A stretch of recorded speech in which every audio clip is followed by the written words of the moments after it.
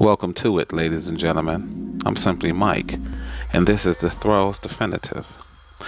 Today we're going to discuss a review, but not of a yo yo. Today we're going to discuss how Duncan finally stepped into the modern. So let me ask you, what do you think of when you think of Duncan?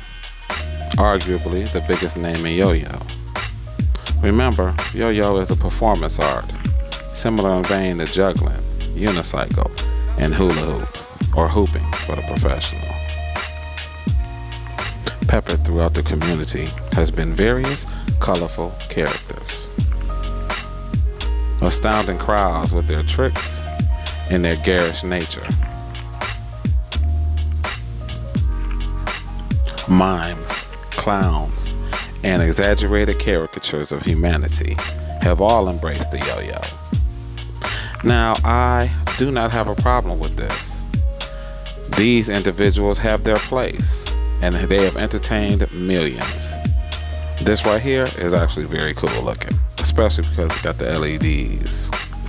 But oftentimes, people see us like they see this person or this person. Now, attempts were made to make yo-yo cool, but the general population just doesn't see what you and I see in yo yo. So they added fire. now, Chinese yo yo is a big thing, but it's part of gymnastics and an overall performance. But against this backdrop and this heritage is where Duncan finds itself.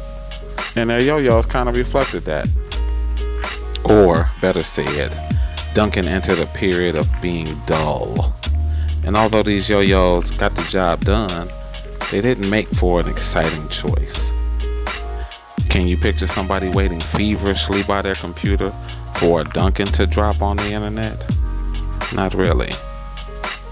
Let's take this metal drifter for example. Standard with it came an A size bearing, which got the job done, but left a little bit to be desired. And then we had these friction stickers, which is universally panned as mediocre.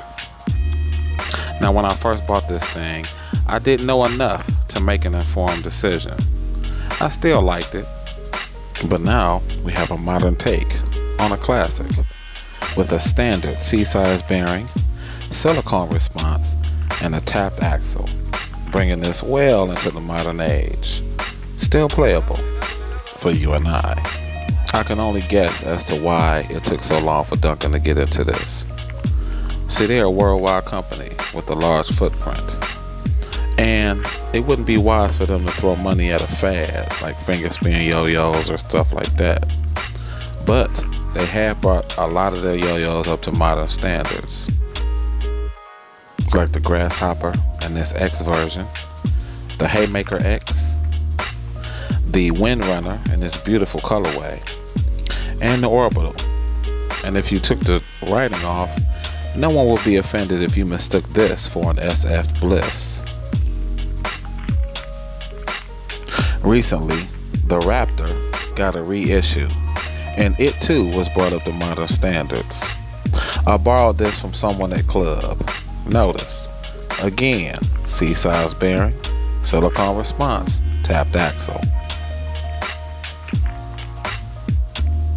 I just recently reviewed the Murmur, and this thing plays as good as the Murmur. A little different, but this is a great yo-yo. Excellent. It is more expensive than the Metal Drifter, and it's worth it. You can tell the quality that went into this thing.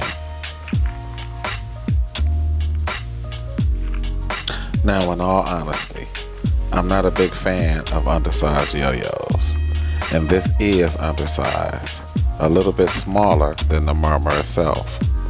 But despite that, and despite the fact that I'm not that good of a player, this still is an excellent yo-yo. And you are safe buying from Duncan. Don't get me wrong, I'm not here to rag on Duncan. I'm very grateful for what they've done. They've updated their current lineup and brought in new models to move the conversation forward. And for that, I am eternally grateful and a little bit excited. But the question remains will they continue to innovate? We can only hope for the best. So we'll see. And keep our eyes open. I think you'll enjoy the journey.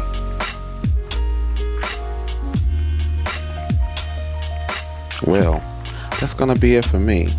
But if I can feature one of your cool yo-yos on one of my videos, contact me at the information below and we can work out a situation. And next time, we're gonna pit a yo-yo against its brother. Alrighty, until then, keep throwing and I'll catch you in the next video. Peace.